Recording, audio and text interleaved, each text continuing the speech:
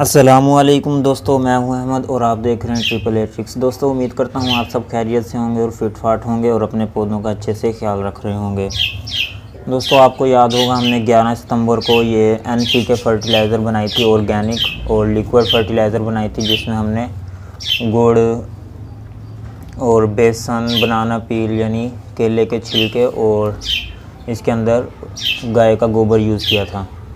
तो मैंने आपको कहा था, ये तकरीबन चार पाँच दिन में ही हमारी रेडी हो जाएगी इस्तेमाल करने के। तो ये देखें मैंने इसके ऊपर डेट भी मेंशन की हुई थी।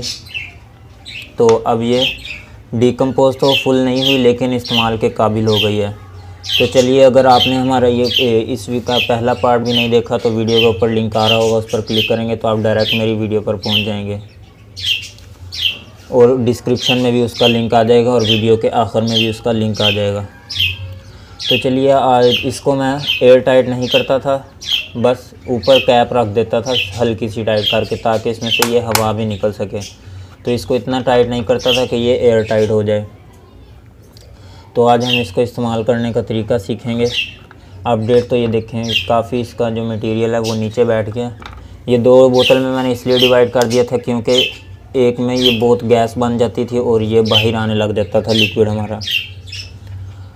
तो चलिए आज इसको यूज़ करने का तरीका देखते हैं।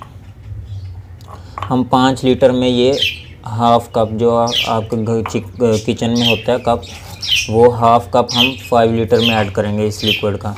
तो चलिए इसमें से हाफ़ कप निकाल लेते हैं पहले। ये काफ़ी स्ट्रॉन्ग होती है, इसलिए हम कम ही इसका इस्तेमाल करेंगे। ये देखें।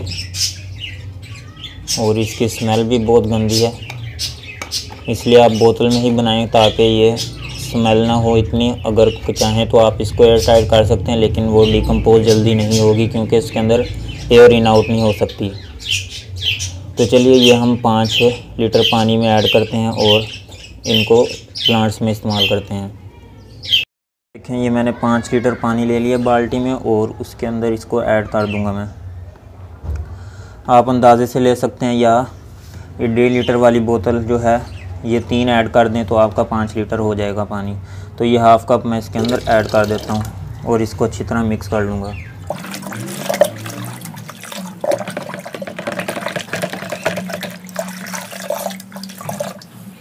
आप चाहें तो इस पानी को सीडलिंग में भी इस्तेमाल कर सकते हैं, लेकिन ज़्यादा बेहतर है कि सीडलिंग में सिर्फ़ गाय का गोबर ही यूज़ करें, ये वाली एन पी के ना यूज़ करें। तो चलिए और किसी प्लांट में हम जो फ्लावरिंग प्लांट है, उसमें भी इसको इस्तेमाल कर सकते हैं हाउस प्लांट या वेजिटेबल प्लांट जो भी प्लांट है, उसके अंदर हम इसको यूज़ कर सकते हैं। मैंने आज सुबह का तो पानी दिया हुआ है पौधों को, लेकिन फिर भी मैं आपको ये कुछ पानी ऐड करके दिखा देता हूँ ताकि आपको पता चल जाए कैसे इस्तेमाल करना है। देखें दोस्तों, ये जैसे छुई मुई का पौधा लगा हुआ है चार इंच के गमले में, तकरीबन चार से पाँच इंच के गमले में। तो इसके अंदर आपने अगर पानी, अब तो मैंने पानी दिया हुआ लेकिन आपने खुश्क करके मट्टियों को, यानी मट्टी जब इनकी ड्राई हो जाएगा फुल तो उसकी गोडी करके आपने एक कप इसके अंदर ऐड कर देना है, सिर्फ़ एक कप तो जैसे जैसे कोई बड़ा गमला होगा, ये देखिए मैंने आज सुबह इनको पानी दिया तो कोई जैसे ये बड़ा गमला आपको नज़र आ रहा होगा। इतना बड़ा गमला हो तो इसके अंदर आप ये पानी तकरीबन पाँच से छः कप ऐड कर सकते हैं इजीली इसका कोई साइड इफ़ेक्ट भी नहीं है, यानी कोई नुकसान नहीं है। ये देखें। इसी तरह आप हर गमले में यूज़ कर सकते हैं, चाहे वो फूलों वाला हो, चाहे वो बगैर फूलों वाला या कोई सब्ज़ी या फ्रूट वाला हो। तो जैसे छोटे गमले उनके अंदर एक एक कप और बाकियों में दो दो कप भी इस्तेमाल कर सकते हैं आप। जैसे ये बारह इंच का गमला है तो इसके अंदर हम तीन कप ऐड कर देंगे।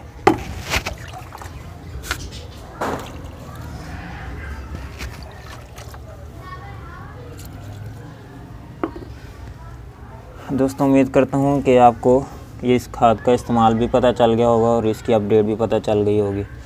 तो चलिए अब उस खाद का रिज़ल्ट देखते हैं जो हमने गाय के गोबर से बनाई थी। ये देखो दोस्तों, तकरीबन चार से पाँच दिन हो गए हैं मुझे उस खाद को इसके अंदर यूज़ किए हुए जो हमने गाय के गोबर से घर में बनाई थी।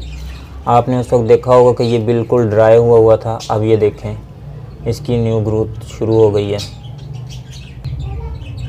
ये देखें दोस्तों। अब ये इसकी नई ग्रोथ कितनी प्यारी शुरू हो गई है, बिल्कुल ग्रीन ग्रीन तो दोस्तों, देखा आपने कि हमारी वो गोबर वाली खाद कितनी यूज़फुल है। तो इसकी नई ग्रोथ भी शुरू हो गई और अब हमारा ये पौधा मरने से भी बच गया। तो आप ये देखें सीडलिंग के ऊपर भी इजीली यूज़ कर सकते हैं उस खाद को।